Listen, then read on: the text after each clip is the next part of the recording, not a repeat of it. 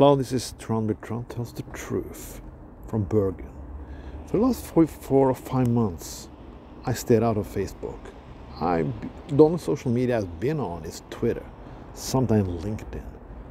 After the election in September, I had to get away. I was tired. 30 years of politics has been annoying and dragging on. It's been horrible, really. I lost everything. I invested everything and was put out in the cold. I became a father in June, so with all those thoughts in my mind, I just had to re-find myself, see what I can do, what the future brings. You can call it the midlife crisis, but I'm not so sure. After I got away from Facebook for so many months, I really found out that Facebook is not places we have you real friends. It's okay. It's nothing more.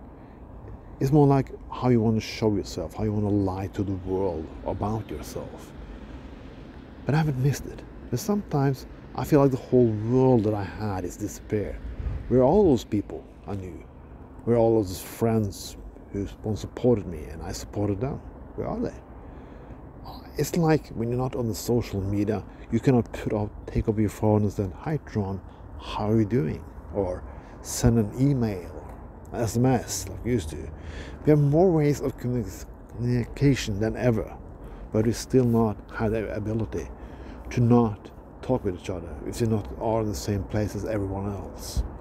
We had opportunity and we don't use it.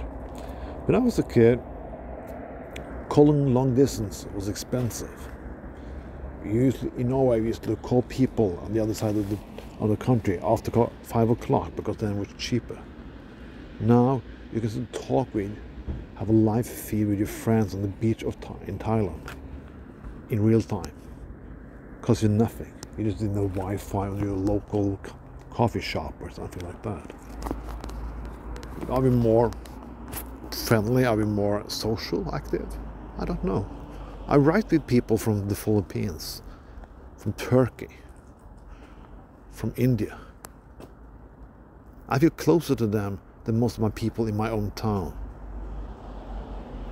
That's not because of social media, just because those people are also lonely. They are lonely in countries have more, way more people than most countries in the world. But we're still lonely. We're still hidden. We're still not there. I'm going to open Facebook again and see how reaction will be and how I will react on it. But it is sad, really, that communication between people have come to this. That, maybe that's what's wrong. Before, when terrible things happen in the world, when you need to have a 24 hour news cycle, people really cared. There were more people who thought about how people had poverty and war and so on before. But now, when you have all the resources we can't do it, and we have all the news about it and knowledge about it, we don't do anything. We sit down being angry and being lonely, just trying to be where everyone else is, and where we can be dumped and be cancelled.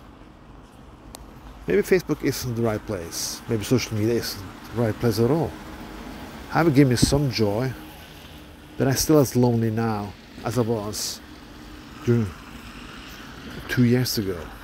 The pandemic was nicer because that brought people together.